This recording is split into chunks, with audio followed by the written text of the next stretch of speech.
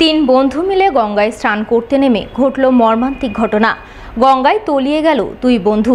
রবিবার দুপুর নাগাদ মালদার বৈষ্ণবনগর থানার ভাঙাটোলা এলাকায় ফরাক্কা ব্রিজ সংলগ্ন গঙ্গাঘাট এলাকায় এই ঘটনা ঘটলেও সোমবার বিকেলে খবর লেখা পর্যন্ত সময়কালে একজনেরও দেহ উদ্ধার হয়নি বলে খবর।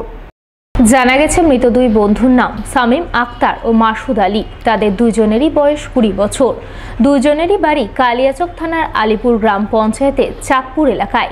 পরিবার সূত্রে খবর, রবিবার দুপুর নাগাদ সামিম ও মাসুদ আরও এক বন্ধু মিলে বাইকে চেপে বৈষ্ণবনগরের ভাঙাটোলা ফারাক্কা নতুন বীজঘাটে গঙ্গায় স্নান করতে যায়।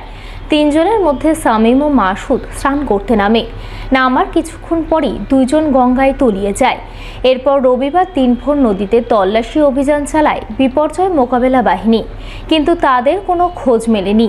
এমনকি সোমবার বিকেল পর্যন্ত সময়কালের মধ্যেও একজনেরও দেহ উদ্ধার হয়নি বলে জানা গেছে। কালকে তিনজন বন্ধু স্নান করতে এসেছিল গঙ্গার ধারে। তো দুজন নেমেছিল, একজন উপরেই ছিল। স্নান করতে গিয়ে জলের স্রোতটা বেড়েছে, দিয়ে দুজন পানির নিচে চলে গেছে। উপরে যে ছিল সে দেখে বাড়ির লোককে ফোন করেছে, জানিয়েছে। এসেছি আমরা, কালকে থেকে খুঁজে পাচ্ছি না, এখন অব্দি বডি পাইনি আমরা, কালকে উদ্ধার কাজ চলেছে। প্রশাসনের পক্ষ থেকে সুযোগ সুবিধা পেয়েছি, কিন্তু পাওয়া যায়নি এখনও বডি। আজকে আবার চলছে, এখন দেখা যাক কি হয়, পাওয়া যায় কি না শত্রুতা করে পুকুরে বিষ ঢেলে কয়েক লক্ষ টাকার মাছ নষ্ট করল দুষ্কৃতীরা। সোমবার সকালে এই ঘটনাকে ঘিরে ব্যাপক চাঞ্চল্য ছড়ালো পুরাতন মালদা ব্লকের মঙ্গলবাড়ি গ্রাম পঞ্চায়েতের ঝাঁঝরা এলাকায়। ঘটনায় দোষীদের খুঁজে বের করে ক্ষতিপূরণের দাবি জানালেন পুকুর মালিক আনন্দ ঘোষ। ঘটনাটা হয়েছে যে কালকে তো আমি বেলা তিনটা অবধি ছিলাম পুকুরে।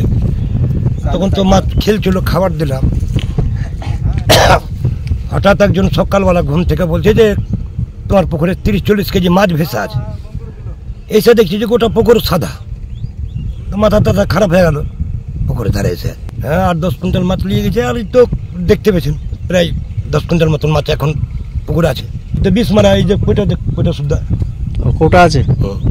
কে দুশ্মনী করল কি করে জানো এটাই চাইছি যে কেটে যেন আমার কোনো ক্ষতিপূরণের কোনো দাবি। চাইছি যে আমার জন্য এত টাকা মাছ নষ্ট হয়ে গেল।